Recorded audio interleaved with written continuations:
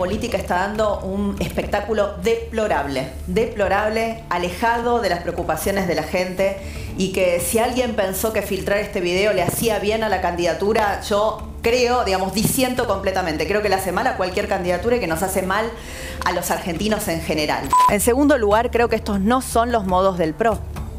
La verdad, nosotros nos escandalizábamos cuando se acuerdan un dirigente de camioneros, Madonna Quirós, en un acto político sacó un arma y amenazó a un dirigente de la UOCRA. O el año pasado en la campaña cuando en Tucumán, el PJ de Tucumán, ¿se acuerdan ese espectáculo cuando se peleaban los de Mansur con los de Jaldo?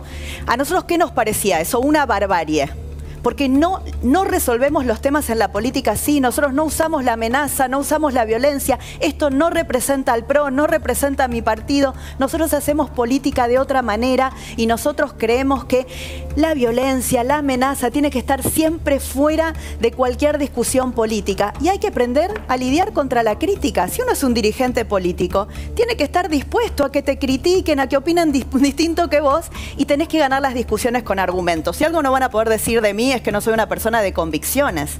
Digamos, yo te sigo cualquier discusión hasta el final, pero con argumentos, nunca con amenazas, porque eso no nos representa, esto no representa al PRO, no representa Juntos por el Cambio, pero además no representa a nuestros votantes.